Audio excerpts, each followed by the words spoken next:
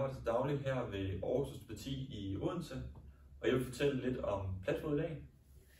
Så hvis vi starter med fodens opbygning, sådan lige kort. Foden den er opbygget således, at vi har to buer. En bue, der går langs den midterlige side af foden, og en bue, der går på tværs hen over forfoden. Fodens buer har til formål at virke stødabsorberende, så det vil sige, når vi går, når vi løber, når vi hopper, så kommer der stød fra, fra underlaget, og øh, her får en spure med til ligesom at dæmpe stødet eller absorbere stødet. Hvis man er platfodet, så vil en spure enten være markant mennesket, eller også så vil de mangle helt. Og øh, det har selvfølgelig konsekvenser på stødabsorberingen.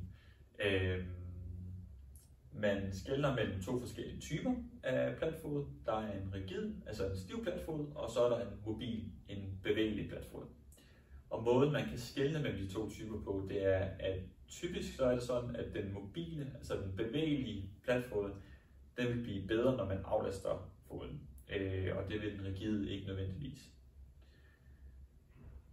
Hvorfor får man platfod? Hvorfor udvikler man platfod? Jamen, der kan være rigtig mange årsager til det her. Øh, typisk så vil kvinder over 40 år være i større risiko for at enten udvikle eller have platfod. Øh, genetik er også en ting, der spiller ind. Hvis man har nogen i familien, som er generet af det her. Øh, brud på bag- eller mellemfoden kan, kan også være en udløsende faktor.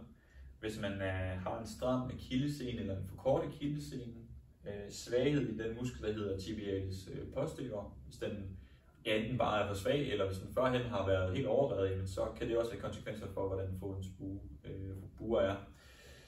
Derudover så øh, kan problemstillinger relateret til stofgifte og fordøjelse også være en udløsende faktor. Stress kan være en udløsende faktor. Nedsat blodcirkulation til benet, forskellige muskel- og nervesygdomme. Øh, ledegigt kan også være, øh, være, hvad gør, at man er i øget risiko for at udvikle platfod. Så der kan være rigtig mange ting, der enten gør, at man udvikler eller har platfod. Øh, og som osteopater, jamen så kigger vi jo øh, helhedsorienteret på problemstillingen. Så det vil sige, at vi prøver at lave en fuld undersøgelse og prøver sådan at klarlægge, øh, hvilke årsager, der, øh, der kan ligge til grund for, at man har de gener eller symptomer, man har. Derfor kan en behandling, også, altså en osteopatisk behandling, kan også variere meget fra patient til patient, da det typisk er forskellige årsager, der gør, at man har de problemstillinger, man har. En osteopatisk behandling kan blandt andet bestå af nogle fordøjelsesmæssige teknikker, øh, hvor vi arbejder med organsystemet, får det til at bevæge sig frit og arbejde øh, optimalt.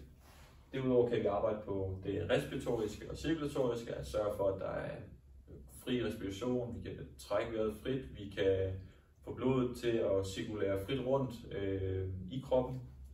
Vi kan arbejde med nervevævet fra hele vores rygsøjle og ned til, til, til benet, ned til foden. Vi kan arbejde lidt mere strukturelt, lidt mere biomekanisk, hvor vi arbejder med øh, øh, led, vi arbejder med ledbånd, vi arbejder med muskulatur og sener. Øh, så vi har rigtig mange ting, vi kan tage fat i. Øh, og, og arbejde med. Derudover kan vi også øh, coache i livsstil og ændringer dertil, som, som også kan, kan have en indvirkning på, på forløbet.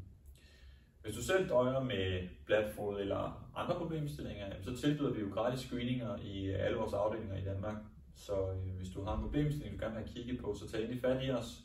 Vi vil med glæde gerne øh, prøve at, hjælpe jer. Tusind tak fordi I så med.